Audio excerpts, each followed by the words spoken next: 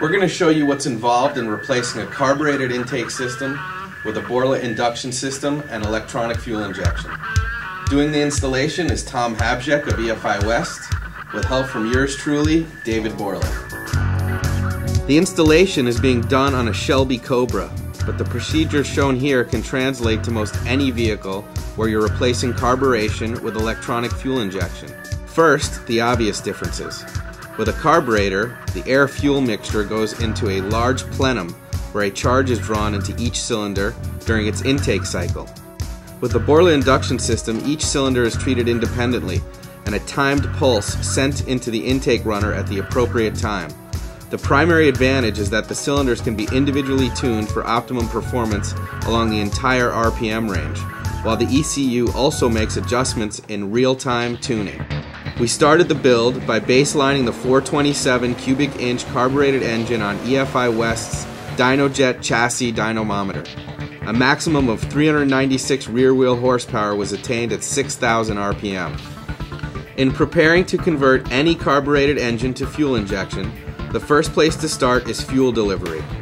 Most carbureted engines on the street can operate just fine on 4 to 5 pounds of fuel pressure and typically rely on mechanical pumps. Fuel injection demands much higher pressure, as this is what helps atomize the gasoline for improved performance. We're using a Bosch electric fuel pump in our installation that has a 100 psi rating, but we're using a regulator to bring it down to 58 psi at the injector rails. For the Cobra, we've determined that the best place to mount the pump is on the main frame rail, essentially beneath the driver. We're also installing a fuel filter on the inlet side of the pump and another one on the outlet side. We don't want any impurities getting into the injectors. It's also important to use the correct sized fuel lines from the tank to the pump and from the pump to the injectors. We've used AN-8 braided lines. You'll also want to test the pressure.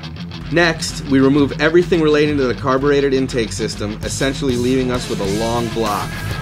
And because of the unique design of the Ford FE engine, we have to also remove the rocker arms.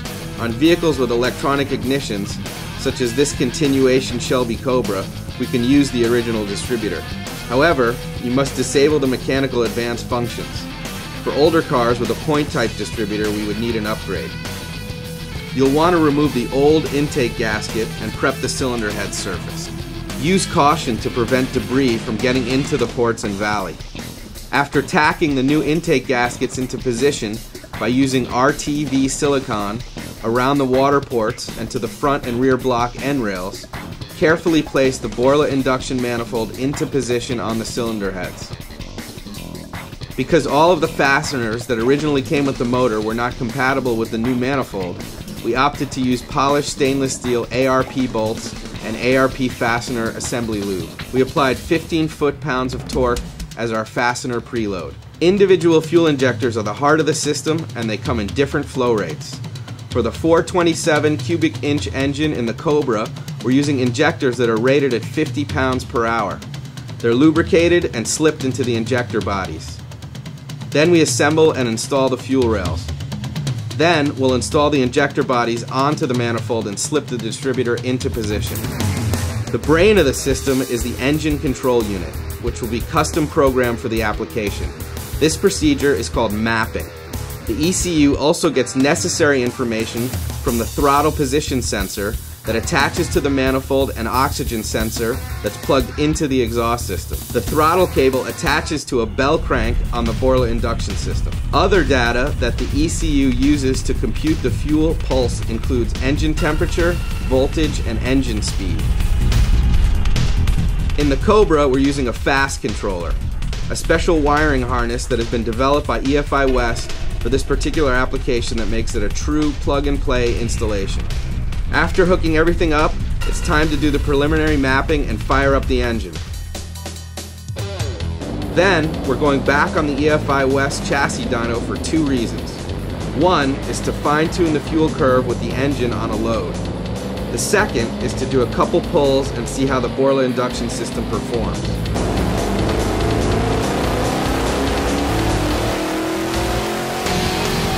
As you can see, the Cobra now puts out 417 horsepower at 6,000 RPM. More importantly, The torque curve has improved to provide a wider, more level power band, which is important for all-around driving performance. Add to this the visceral good looks of a race-bred port injection when you open the hood, and it's easy to see why a Borla induction system is the way to go. For additional information on this and other Borla induction systems, visit us online at www.borlainduction.com.